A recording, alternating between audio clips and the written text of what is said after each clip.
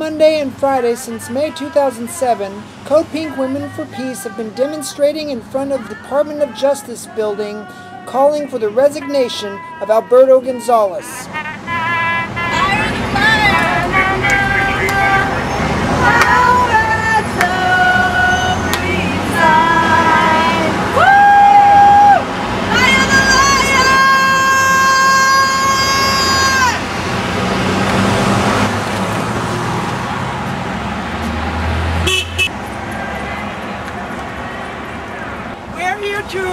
Uh, to propel Mr. Gonzales out of the Department of Justice where he doesn't belong anymore.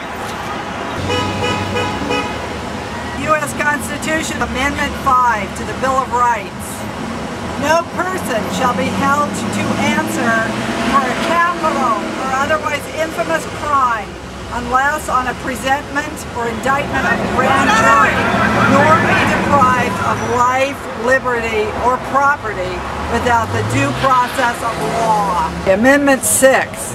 In all criminal prosecutions, the accused shall enjoy the right to a speedy and public trial by an impartial jury of the state and district where the crime shall have been committed.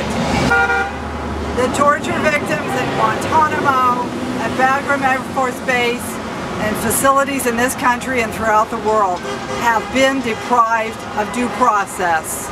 Our Attorney General is directly tied in to these policies of detention, extraordinary rendition, and torture. Torture is un-American.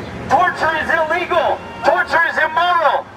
This Attorney General has sponsored torture for this administration and he has got to go. Alberto Gonzales, time to resign. Read the Constitution. There's nothing quaint and obsolete the Convention, sir. Na na na na. Na na na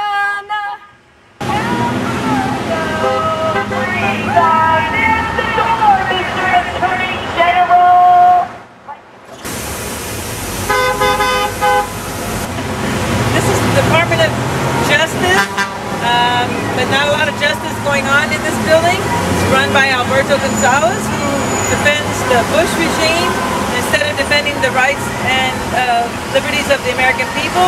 It's time to resign. Resign. Lying and spying and torture are crimes. Alberto Gonzales, time to resign.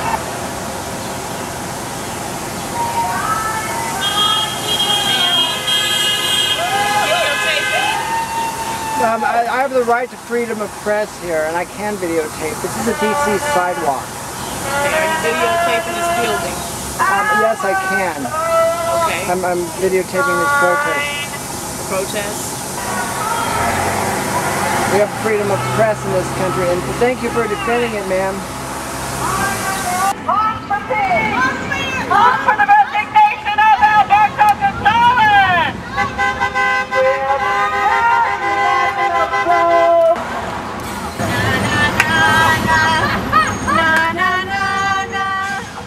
Code Pink will continue weekly protests of the Justice Department until Alberto Gonzales is no longer Attorney General of the United States of America.